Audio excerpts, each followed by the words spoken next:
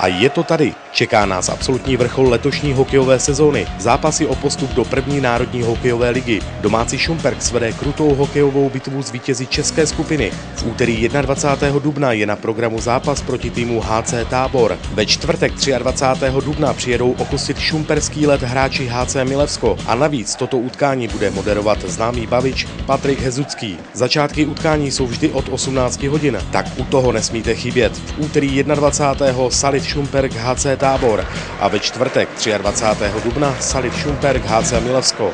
Cíl je jasný, první liga v Šumperku.